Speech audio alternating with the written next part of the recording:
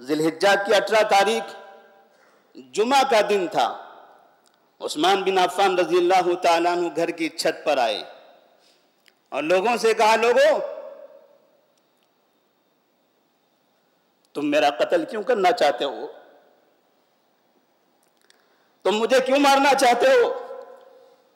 अलस्तुम तालमून नबी सल्लल्लाहु अलैहि वसल्लम काल मन जहज क्या तुम्हें नहीं पता है कि नबी ने कहा था, जिसने जैसल उसरा को तैयार किया उसके लिए जन्नत है और मैंने तैयार किया था। क्या तुम नहीं जानते थे कि नबी ने कहा था, वो कुआँ खरीद कर जो आज़ाद करे, वफ करेगा मुसलमानों के लिए, उसको, उसके लिए जन्नत है? तुम नहीं जानते कि वो कुआँ मैंने खरीदा था।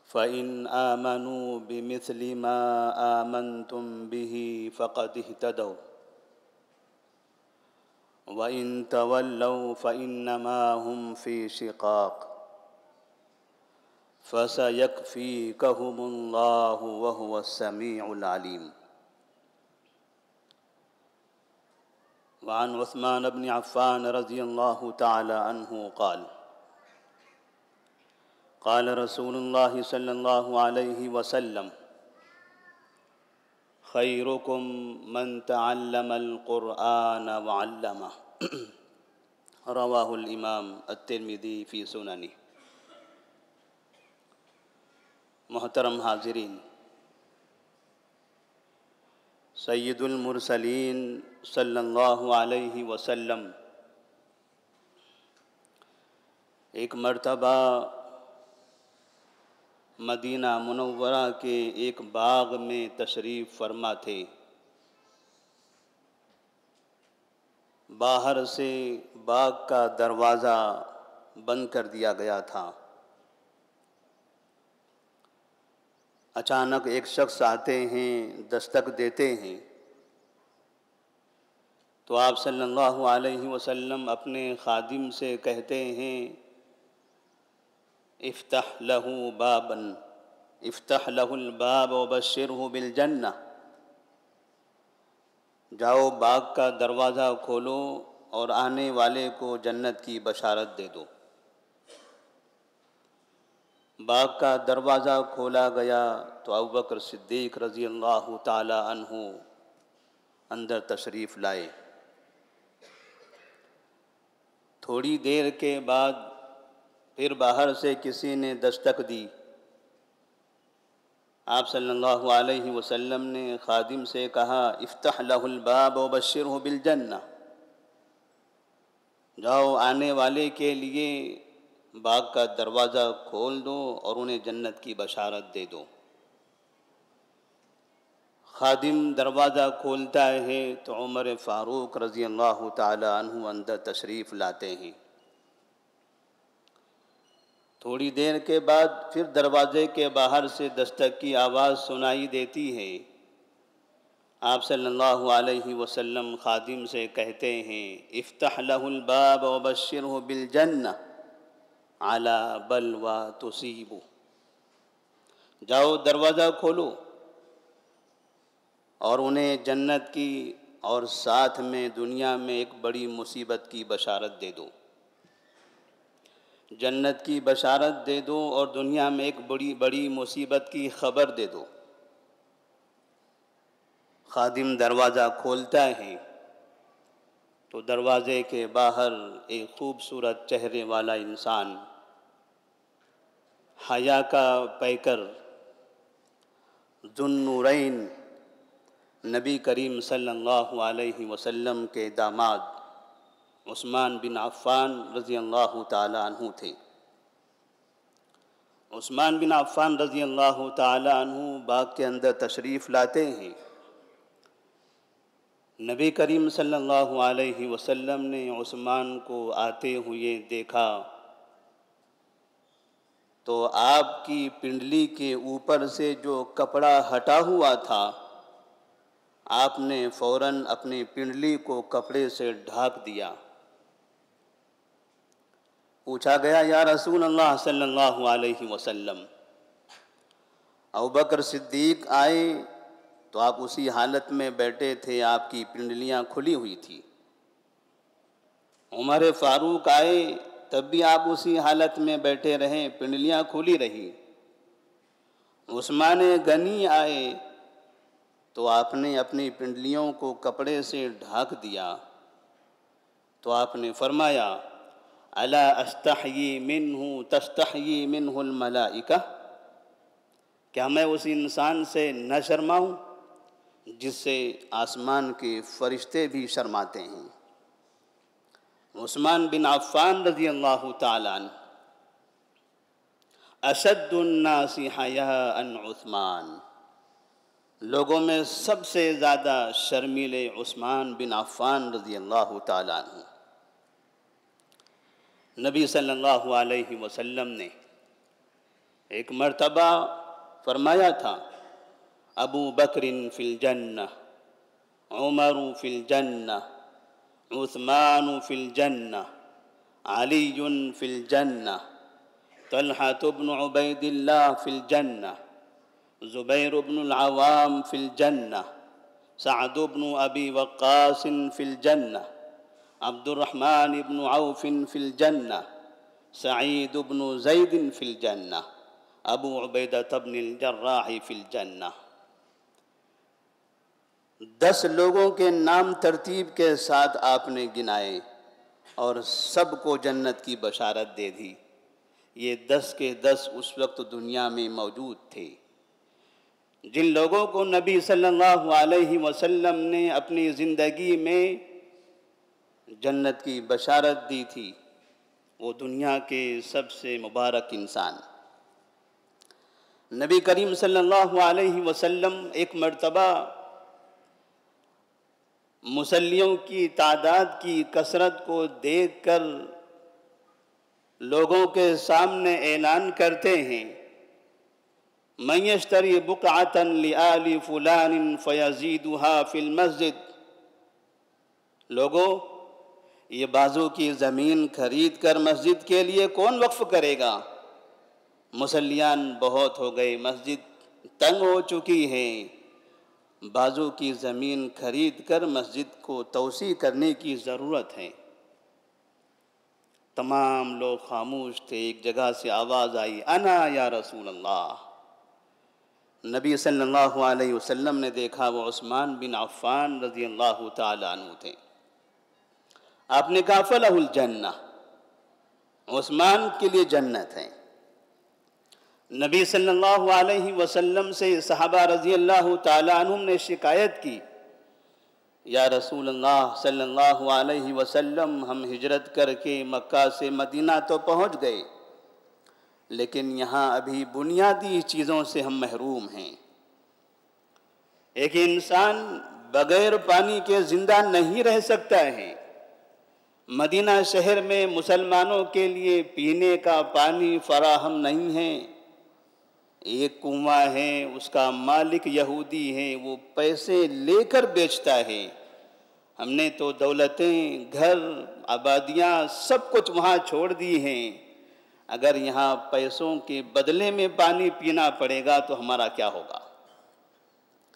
नबी सल्लल्लाहु अलैहि वसल्लम ने फरमाया मैशतरी बिरमा फलाहुल जन्ना लोगों एक कुआँ है मुसलमान उसके पानी के मोहताज हैं तुम में से कौन है जो वो पानी वो वो कुआँ खरीद कर मुसलमानों के लिए वक्फ करे एक किनारे से आवाज़ आई अना या रसूल अल्लाह अल्लाह के रसूल सल्लल्लाहु अलैहि वसल्लम उसके लिए मैं तैयार हूँ नबी ने देखा, वो मुबारक चेहरा उस्मान बिन आफ़ान रज़ी अल्लाह तु का था।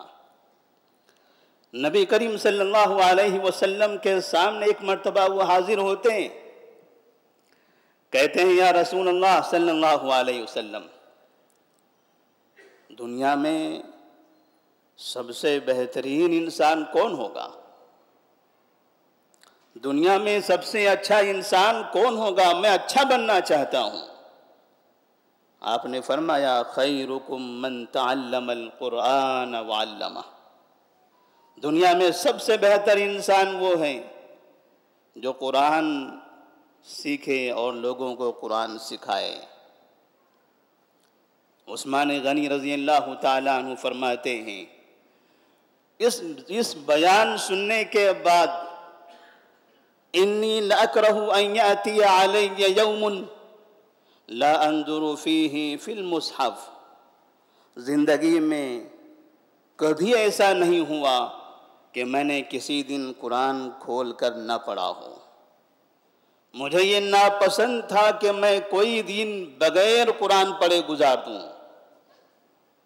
यहाँ तक कि उस्मान बिन अफ़ान रज़ी अल्लाह तु ज़िंदगी के आखिरी दिन भी फ़ैन आमनु बिमिसलिमा आमन तुम बिही फ़कद तदो व इन तवल्लो फ़ैन नमा हम फ़ी शिकाक फसयक फ़ी कहमुल्लाह वह समीम पढ़ते हुए इस दुनिया से चले गए ये उस्मान बिन अफ़ान रज़ी अल्लाह तन एक मरतबा गमजदा बैठे हुए थे नबी सल्लल्लाहु अलैहि वसल्लम पूछते हैं मा अरा का महमूमन या उस्मान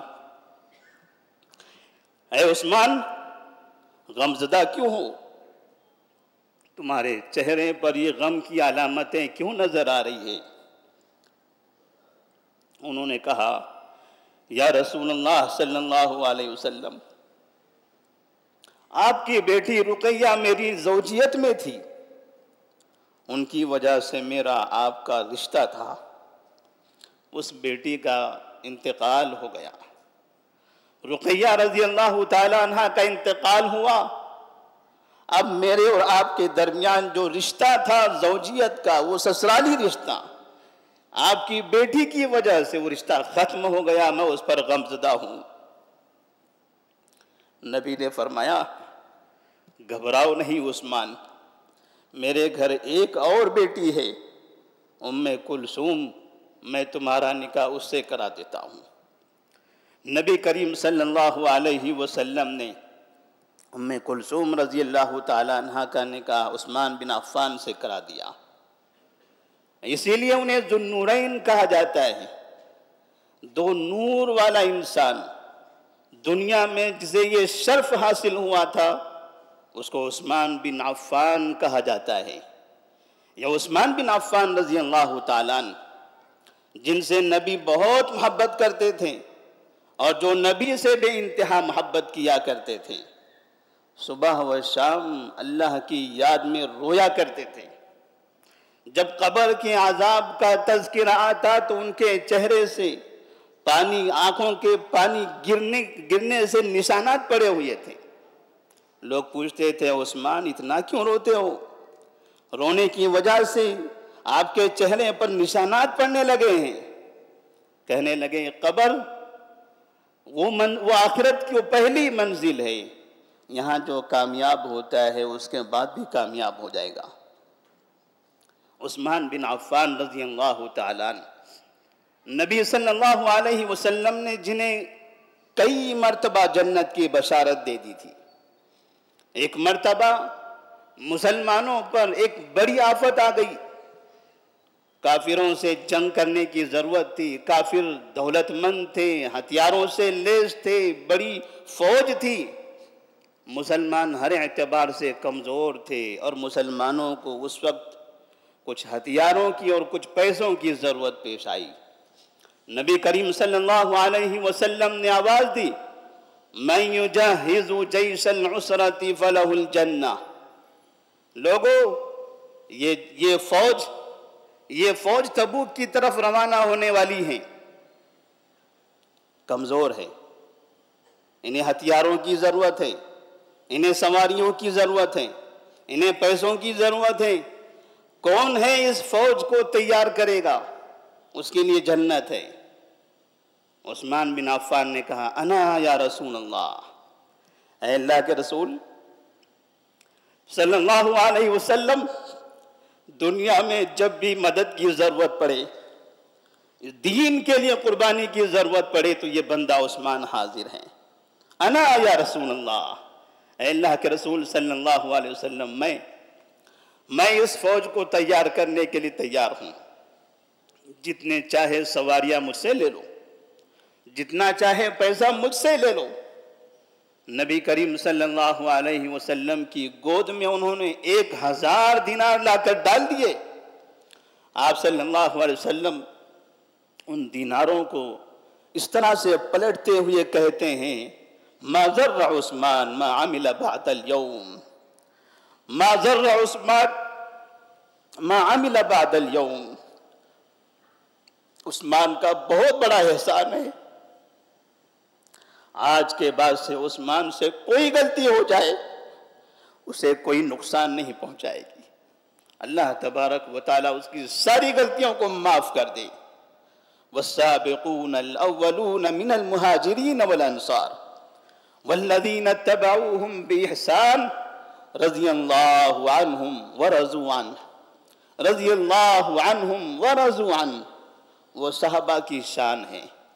वो साहबा का मकाम मर्तबा है।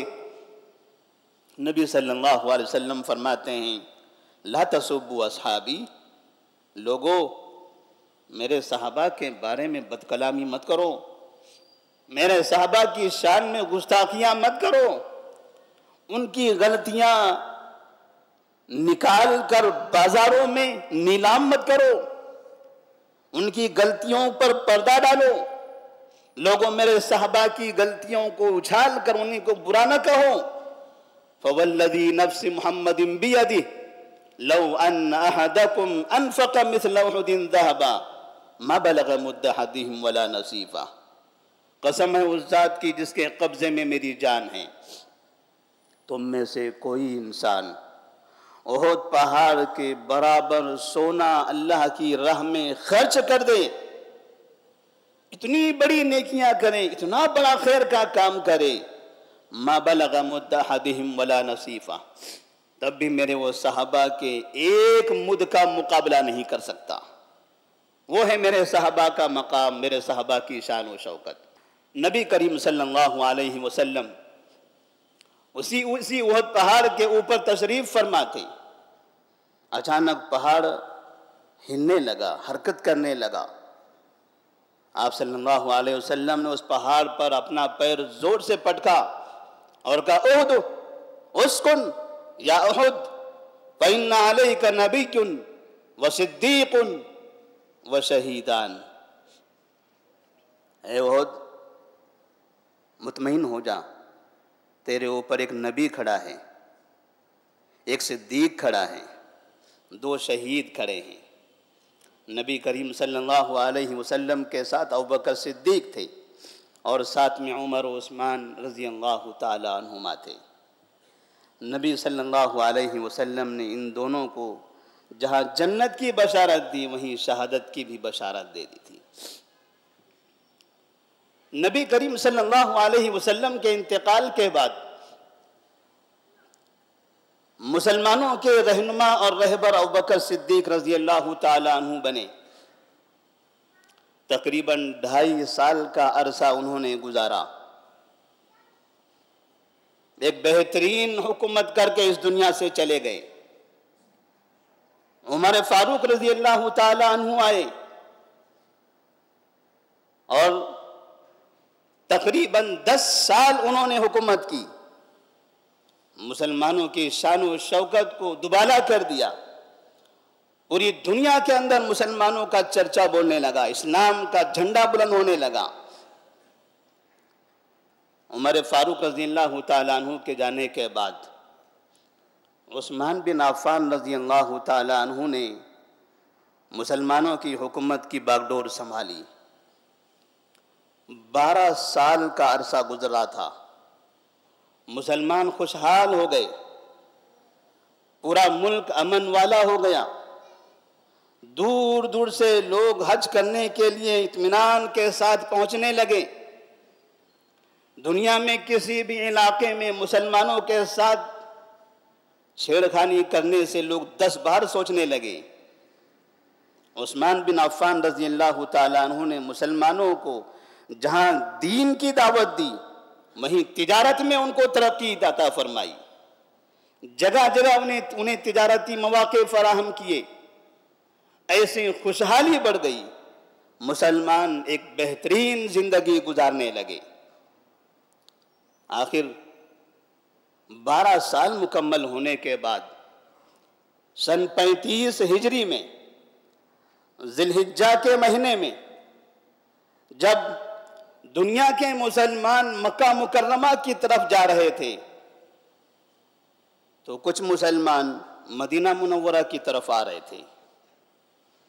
समझ में नहीं आ रहा था, काबा तो मक्का में है, मुसलमानों को तो मक्का जाना चाहिए, जिलहिज्जा का महीना है। हज करने के लिए तो मक्का जाया जाता है, लेकिन भीड़ मदीना में बढ़ने लग गई। लोगों को समझ नहीं आ रही थी कि आखिर क्या हो रहा है। देखते ही देखते मदीना एक बड़ी आबादी वाला शहर बन गया। जहाँ देखो वहाँ पर इंसान ही इंसान नज़र आने लगे। चंद घर थे, चंद आप चंद मुसलमान वहाँ रहा करते थे। लेकिन गलियों में, बाजारों में, रास्तों में, जहाँ देखो वहाँ लोग दिखाई दे रहे थे। उन लोगों के पास हथियार थे। उन लोगों के दिलों में नफरतें थी। उनकी जुबानें जहरीली दिखाई दे रही थी। और वो सीधे उस्मान गनी रज़ी अल्लाह तु के घर का, घर की तरफ़ बढ़ते हैं और उनके घर का मुहासरा कर लेते हैं। उस्मान गनी रज़ी अल्लाह तु से कहा गया, आपको घर से बाहर निकलना नहीं है। उन्होंने कहा, नमाज़ के लिए कहा, नमाज़ के लिए भी नहीं। कहा, वो मस्जिद, जिस मस्जिद की तोसी मैंने की है, जिस मस्जिद का मैं इमाम हूँ, कहा, वो मस्जिद में भी आपको जाने की इजाज़त नहीं है। उस्मान गन का ठीक है। मैं अपने घर में अपना वक्त गुजारूँगा, अल्लाह की इबादत यहीं से करता रहूँगा। आहिस्ता आहिस्ता, उस्मान गनी रज़ी अल्लाह तु से खाना बंद कर दिया गया। जो घर में राशन था वो ख़त्म हो गया। जब बाहर से लोग पहुँचाने की कोशिश करते थे, उन्हें पकड़ लिया जाता था। पानी खत्म हो गया। बाहर से पानी आने के रास्ते रोक लिए गए। उम्मीन रज़ी अल्लाह तहा एक मरतबा पानी का मशकिजा लेकर उस्मान के घर पहुँच रही थी। लोगों ने उनके, उनकी सवारी पर हमला करके उनको वापस कर दिया। कहा उस्मान के पास पानी पहुँचाने की कोई ज़रूरत नहीं है। उस्मान गनी रज़ी अल्लाह तला चालीस दिन तक घर के अंदर बंद रहे। साहबा रज़ी अल्लाह तुम एक एक करके आते थे और कहते थे, उस्मान अमीरमिन आप हमें हुक्म दीजिए, हमारे सीने इनके मुकाबले के लिए तैयार हैं हम इनसे मुकाबला करते इनसे लड़ाई करते इन्हें ख़त्म कर देते हैं। आपकी हिफाजत हम करेंगे। उन्होंने कहा, नहीं, मेरी हिफाजत के लिए मेरे घर के बाहर किसी को खड़े रहने की ज़रूरत नहीं है। मैं नहीं चाहता कि मेरी हिफाजत करते करते किसी का खून बह जाए। उस्मान बिन अफ़ान रज़ी अल्लाह तु के पास अब्दुल्ला बिन उमर रज़ी अल्लाह तु उनके घर में तशरीफ़ फरमा हुए कहने लगे अमीरमिन ये लोग क्या चाहते हैं? क्यों यहाँ पर आए हैं? क्यों इन्होंने आपका खाना पानी बंद कर दिया है? क्यों इन्होंने घर में आपको बंद कर रखा है? उन्होंने कहा, वो चाहते हैं कि मैं खिलाफत छोड़ दूँ। वो चाहते हैं कि मैं खिलाफत छोड़ दूँ। अब्दुल्ला बिन उमर ने कहा, अगर ना छोड़े तो कहा वो कत्ल कर देना चाहते हैं? तो पूछा, क्या आप खिलाफत छोड़ना चाहते हो? कहा, आपकी राय क्या है? अब्दुल्ला बिन उमर ने कहा, मैं तो ये समझता हूँ कि अल्लाह तबारक व ताला ने यह नियामत आपको अता की है। ये खिलाफत का मकाम मरतबा आपको अता किया है। अपने हाथ से इसको आप ज़ाय ना करें। और अगर इसके बाद आपको ज़िंदगी गुजारनी है तो कितने साल आप ज़िंदा रहोगे? मौत तो एक दिन आनी ही है। उस्मान बिन अफ़ान रज़ी अल्लाह तु कहा अगर ठीक है अब्दुल्ला बिन उमर रज़ी अल्लाह तु चले गए। चालीस दिन गुजर रहे थे। जिलहिजा की अठारह तारीख थी। बहुत से मुसलमान मक्का में हज करके अपने शहरों की तरफ़ निकल रहे थे। बहुत से मुसलमान मक्का में थे। बहुत से मुसलमान जो मदीना से मक्का जा चुके थे, वो मदीना की तरफ़ आ रहे थे। उन्हें पता ही नहीं था कि हमारे पीछे, हमारे शहर में क्या हो रहा है। जिलहिजा की अठारह तारीख जुमा का दिन था। उस्मान बिन अफ़ान रज़ी अल्लाह तु घर की छत पर आए। और लोगों से कहा, लोगों तुम मेरा कत्ल क्यों करना चाहते हो? तुम मुझे क्यों मारना चाहते हो? अलस्तुम तालमून अन्न नबी सल्लल्लाहु अलैहि वसल्लम काल, मन जहज़ जैसल उसरती फलहुल जन्नह। क्या तुम्हें नहीं पता है कि नबी ने कहा था, जिसने जैसुल उसरा को तैयार किया उसके लिए जन्नत है और मैंने तैयार किया था। क्या तुम नहीं जानते थे कि नबी ने कहा था, वो कुआँ खरीद कर जो आज़ाद करे, वफ करेगा मुसलमानों के लिए? उसको, उसके लिए जन्नत है? तुम नहीं जानते कि वो कुआँ मैंने खरीदा था। क्या तुम्हें नहीं पता है कि जब नबी ने कहा था, मस्जिद की ज़मीन, मस्जिद के बाजू की ज़मीन खरीद कर जो मस्जिद के लिए वक्फ करेगा, उसके लिए जन्नत? तुमने देखा नहीं कि वो शख्स मैं ही था? आखिर किस वजह से तुम मुझे कत्ल करना चाहते हो?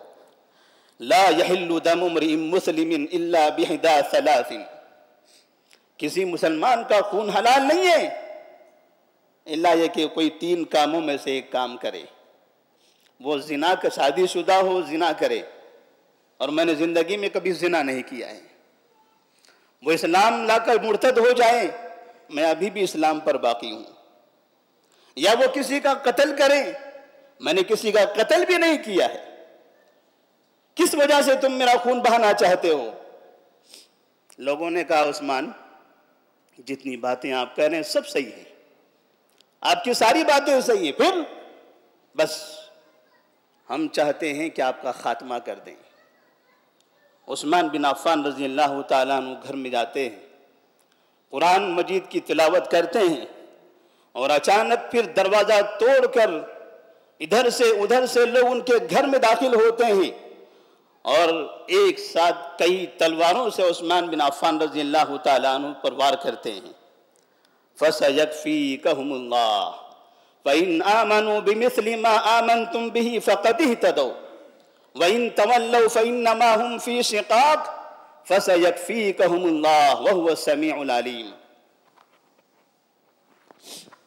उस्मान बिन अफ़ान रज़ी अल्लाह कुरान मजीद की ये तिलावत कर रहे थे।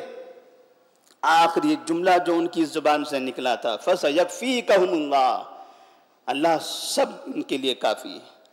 इन सब के लिए अल्लाह तबारक व काफ़ी है, हर एक को देखेगा। मोहम्मद बिन सीरीन और दीगर मुहदसिन कहते हैं, जिन जिन लोगों ने उस्मान गनी रज़ी अल्लाह पर हमला किया था उन सब की दर्दनाक मौतें हुई हैं। एक शख्स काबे का तवाफ कर रहा है। मोहम्मद बिन सीरीन ने देखा, वो तवाफ के दौरान कह रहा है अल्लाह मगफिर ली अल्लाह मगफिर ली अल्लाह तुम मुझे माफ़ कर दे। वला अजुन तकफिर अली लेकिन मुझे लगता है कि तू मुझे माफ़ नहीं करेगा। अल्लाह तुम मुझे माफ़ कर दे। लेकिन मुझे लगता है तू मुझे माफ़ नहीं करेगा। मोहम्मद बिन सरीन नज़दीक पहुँचते हैं, कहते हैं, क्या बात है? ऐसी दुआ क्यों कर रहे हो? अल्लाह से मांगना हो, यकीन के साथ मांगो। उस शख्स ने कहा, उस्मान गनी की शहादत के वक्त में मैं वहाँ मौजूद था। मेरी ख्वाहिश थी कि मैं उस्मान गनी के चेहरे पर थप्पड़ मारूं। मुझे मौका नहीं मिला। लोग आगे बढ़ गए, उन्होंने कत्ल कर दिया। नमाज़ जनाजा पढ़ी जाने लगी। मैंने भी नमाज़ के बहाने से उनके घर में दाखिला दाखिला लिया। और देखा कि लोग अभी करीब में नहीं हैं। उस्मान गनी के चेहरे पर से उनका उनका लिहाफ, वो कपड़ा हटाया और उनके चेहरे पर थप्पड़ मार दिया। उस दिन से आज तक मेरा ये हाथ लकड़ी की तरह सख्त हो गया है। और वो कह रहा है काबे के सामने अल्लाह मगफिरली वला फिर अली उस्मान गनी रज़ी अल्लाह तु की शहादत। दुनिया में शहादतों के वाकयात हम बहुत सुनते हैं। अक्सर वाकयात में लोग झूठी बातें, झूठे वाकयात सुनाते हैं। शहादतों के नाम से मुसलमानों को गालियाँ देते हैं। साहबा की साहबा की शहादतों के वाकयात सुना सुना कर मुसलमानों पर लान तान करते हैं। किसी साहबी की शहादत का वाकया सुनाकर साहबा को गालियाँ देते हैं। उस्मान गनी रज़ी अल्लाह तु की शहादत के किस्से भी हम सुनते हैं। जलहिजा का महीना आता है, कहीं पर उस्मान गनी की शहादत के तस्करे नहीं होते हैं। मुहर्रम का महीना आता है, शहादत हुसैन का तस्करा हर गली में होता है। और उस शहादत के पीछे मुसलमानों को गालियाँ, उलमा को गालियाँ, इमामों को गालियाँ अबू बकर सिद्दीक को गालियाँ, उमर फारूक को गालियाँ, उस्मान गनी को गालियाँ बड़े बड़े साहबा पर लान तान ऐसा सिद्दीका रज़ी अल्लाह पर लान तान, और फिर मौजूदा दौर के अरब हुक्मरानों पर लान तान। शहादत हुसैन का जो जो मस, जो मशगला है जो मजमा है वो शहादत का कम गालियों का बड़ा मजमा बन जाता है। उस्मान गनी रज़ी अल्लाह तु की शहादत हुई। दुनिया में पहली मर्तबा ऐसा हुआ कि खलीफा को मुसलमानों ने शहीद किया। अबकर सिद्दीक रज़ी अल्लाह तु का इंतकाल हो गया था। उमर फारूक रज़ी अल्लाह तु पर हमला करने वाला वो मजूसी था। उस्मान गनी रज़ी अल्लाह तु पर हमला करने वाले मिस्र से 2000 और बसरा से 2000 4000 और कोफा से 2000 इस तरह 6000 की तादाद में लोग आए हुए थे। ये 6000 का बड़ा मजमा मदीने का था ही नहीं। मदीना में इतनी बड़ी आबादी नहीं थी। और मदीना के बहुत से लोग तो हज करने के लिए जा चुके थे। ये छह हज़ार लोगों ने पूरे मदीना को घेर लिया। मस्जिद नबी का मुसल्ला अपने कब्जे में ले लिया। वक्त के इमाम को घर में बंद कर दिया और उनके घर में दाखिल होकर उनको शहीद कर दिया। अब्दुल्ला बिन उमर रज़ी अल्लाह तुमा के सामने एक मरतबा एक शख्स आता है और कहता है, अशहीद बदरन क्या उस्मान बिन अफ़ान जंग बदर में हाजिर थे? उन्होंने कहा, नहीं। कहा हाँ। फिर पूछता है, अशहीद बयातर रिजवान?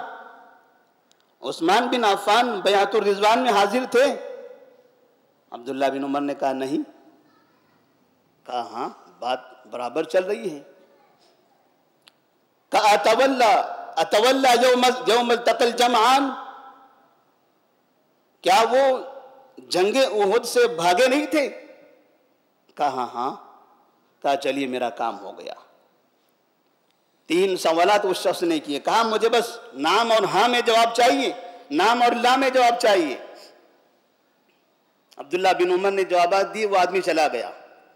लोगों ने कहा, वो आदमी ये समझता है यजाम तो उस्मान। वो ये समझता है कि आपने उस्मान की बुराई की। मतलब उस्मान की बुराई करने में आप भी शरीक हैं। जिस तरह से ये सब लोग बुराई कर रहे थे, वैसे आप भी उसके, उनके हाथों लग गए। अब्दुल्ला बिन उमर ने कहा, नहीं। कहा, बुलाओ उसको। बुलाया गया। तुमने मुझसे सवाल किया था कि जब कि उस्मान बिन अफ़ान जंगे बदर में हाजिर थे तो मैंने कहा, नहीं। कहा हाँ। कहा, पता है क्यों ही हाजिर थे? कहा, क्या वजह है? कहा, इस वजह से, इस वजह से कि जंग बदर के वक्त में नबी करीम सल्लल्लाहु अलैहि वसल्लम की बेटी रुकैया रज़ी अल्लाह तह घर में बीमार थी। नबी ने उस्मान से कहा, उस्मान, ये मेरी बेटी की तीमारदारी करो, काफ़ी ज़्यादा बीमार हैं। हम जंग करने जाते हैं, अल्लाह तबारक व तुम्हें जंग करने वालों के बराबर सवाबाता फरमाएगा। नबी के हुक्म से उस्मान जंग बदर में नहीं गए उनकी बेटे की तीमारदारी करते रहे। ये नहीं पूछोगे? सिर्फ़ ये देखोगे, हाजिर नहीं थे। पीछे राज क्या है वो नहीं पता है तुमको। कहा, बयातुर रिजवान में हाजिर नहीं थे। वजह क्या है पता है आपको? कहा, क्या वजह है? कहा, इसलिए कि बयातुर रिजवान से पहले नबी करीम सल्लल्लाहु अलैहि वसल्लम ने उस्मान गनी रज़ी अल्लाह तु को मक्का भेजा था। और कहा मक्का जाने के बाद वहाँ के लोगों से हमारे लिए बात करो। आपके रिश्तेदार हैं, आपके दोस्त अहबाब हैं और हमें मक्का में आने की इजाज़त मांगो। उस्मान गनी रज़ी अल्लाह तु एक सफीर की हैसियत से मक्का गए थे ताकि मुसलमानों को मक्का आने की इजाज़त दी जाए और बाद में कई दिन तक वहीं रह गए, उनकी कोई खबर हम तक नहीं पहुँची। तब नबी वसल्लम को ऐसा महसूस हुआ कि शायद उस्मान को उन लोगों ने कत्ल कर दिया है। लिहाजा नबी ने साहबा रज़ी अल्लाह से वादा लिया कि चलो, उस्मान के खून का बदला लेंगे। ये थी बयातुर रिजवान। तो बयातुर रिजवान उस्मान कहाँ से रहेंगे? यहाँ वो कहाँ से रहेंगे? उन्हीं की वजह से तो ये बयात हो रही थी। ये नहीं पता है आपको। और फिर जंगे ओहद में भागे थे हाँ। जंगे ओहद में वापस जाने वाले बहुत लोग थे। जब खालिद बिन वलीद ने जबल रुमात के पीछे से हमला किया था साहबा को समझ में नहीं आ रहा था क्या हुआ? अचानक पीठ के पीछे से तलवारें लगने लगी। लोग भागने लगे इधर उधर। उन भागने वालों में उस्मान बिन अफान भी थे। अल्लाह तबारक ताला ने फरमाया, वलक़द आफ़ा अनकुम, वल्लाहु फजलिन अलल मुमिनीन। अल्लाह तबारक ताला उन सबको माफ़ कर दिया। तुम उस्मान की बुराई करते हो? उस्मान के बारे में गलत फहमियाँ पैदा करते हो? यही वो गलत फहमियाँ हैं जिनकी वजह से मुसलमानों ने उस्मान बिन अफ़ान को कत्ल किया था। खिलाफत खलीफा के खिलाफ गलत बातें नशर करना, झूठी बातें फैलाना, ये गलत फहमियों की वजह से उस्मान गनी की शहादत हुई। और ये जिन लोगों ने उस उस जमाने में गलत फहमियाँ पैदा की थी, वो सब के सब मुसलमान थे। उनके दिलों में चोर था। और यही वो लोग हैं। आगे बढ़ने के बाद इन्हीं की वजह से अली रज़ी अल्लाह शहीद हुए। इन्हीं की वजह से उस हुसैन रज़ी अल्लाह की शहादत हुई थी। इस फ़िक्र के लोग उस्मान गनी की उस्मान गनी के ज़माने में पैदा हुए और आज 2022 तक इस फ़िक्र के लोग दुनिया के अलग अलग खितों में मौजूद हैं। जो मुस्लिम हुक्मरानों के खिलाफ झूठी बातें, गलत अफवाहें फैला फैला कर मुसलमानों को अपने हुक्मरान के खिलाफ बगावत करने पर उभारते हैं, उस्मान गनी को शहीद करने वाले ये समझे थे तो उस्मान का कत्ल कर देंगे, अली रज़ी अल्लाह तु की हुकूमत आ जाएगी, अमन आ जाएगा। इन्हीं लोगों ने बाद में कोफा बुलाकर अली को शहीद कर दिया। लोगों ने समझा था, अली को कत्ल कर देंगे, अमन हो जाएगा। इन्हीं लोगों ने बाद में हुसैन रज़ी अल्लाह तु को शहीद किया। लोगों ने समझा था, खिलाफत अमविया खत्म हो जाए, फिर अमन आ जाएगा। इन्हीं लोगों ने अब्बासियों में दाखिल होकर खिलाफत अब्बासियों को चुन चुन कर कत्ल किया था। अब्बासियों को क्या लगता था कि हम हुकूमत में आ गए? अमवियों का हमने खात्मा कर दिया। ये अब्बासियों को ख़त्म करने वाले भी इसी फ़िक्र के लोग थे, जिन्होंने हलाको खान के ज़रिए इन अब्बासियों का खात्मा किया था। आज भी हम देख रहे हैं लीबिया का तब, लीबिया की तबाही, मुल्क शाम की तबाही, यमन की तबाही, मिस्र की तबाही, तोनिस की तबाही, इराक की तबाही। ये जो तबाहियाँ नज़र आ रही हैं ये उस्मान गनी के जमाने के बागियों की नस्लें हैं, उसी फ़िक्र के लोग हैं। आज हिंदुस्तान के अंदर भी कई ऐसे उलमा, कई ऐसे अफराद हैं जुमा के खुतबे में मिम्बरों पर खड़े रहकर हुक्मरानों को गालियाँ देते हैं, अरबों को गालियाँ देते हैं, बगावत करने पर उभारते हैं। उन मुल्कों में बगावत करने पर उभारते हैं जिन मुल्कों में मुसलमान अमन से रह रहे हैं। ये उस्मानी और आज भी ये लोग जब किताबें लिखते हैं तो उस्मानी गनी पर एतराज़ात करते हैं। जो एतराजात उन बागियों ने लिखा, किया था, जो गलत फहमियाँ उन बागियों ने फैलाई थी, आज भी ये लोग जो अरब हुक्मरानों के खिलाफ बोलने वाले उस्मानी गनी के खिलाफ एतराज़ करते हुए बयान करते हैं, तकरीरें करते हैं, माविया रज़ी अल्लाह तु के खिलाफ झूठी बातें नशर करते हैं। झूठ बोलना, मुसलमानों को तबाह करने की कोशिश करना, मुसलमानों के मुल्कों में अमन को गारत करने की कोशिश करना अल्लाह अल्लाह फरमाते हैं अल फितनत अशद मिनल कत्ल. ये फितना कत्ल से बड़ा जुर्म है। अल्लाह से दुआ करें, अल्लाह तबारक व ताली हम तमाम मुसलमानों को ऐसे फितनों से महफूज रखें। ये झूठ बोलने वाले, ये हम बड़ों के खिलाफ गलत फहमियाँ पैदा करने वाले, ये मुल्कों के अमन, मुल्कों के अमन को बर्बाद करने की कोशिश करने वाले, वो हज के बड़े मैदान को अरफात के इमाम के इमाम के खिलाफ झूठ बोलकर अरफात के मैदान में की, मैदान के अमन को बिगाड़ने वाले उलमा, अल्लाह तबारक व ताली से दुआ करें, अल्लाह तबारक व ताली इन तमाम को हिदायत दे दे। हमारे जहाँ मुसलमान जहाँ रहते हैं, अल्लाह उन सबको अमन व अमन अमन अमन के साथ ज़िंदगी अता फरमाए। हम अपने मुल्क में जहाँ रह रहे हैं, अल्लाह तबारक व ताली हमें भी अमन अता फरमाए। ईमान पर कायम रखे, इस्लाम पर कायम रखे। जब हमारा खातिमा हो तो ईमान पर हो। वाह दावाना अनिलहमदिल्ला रबालमीन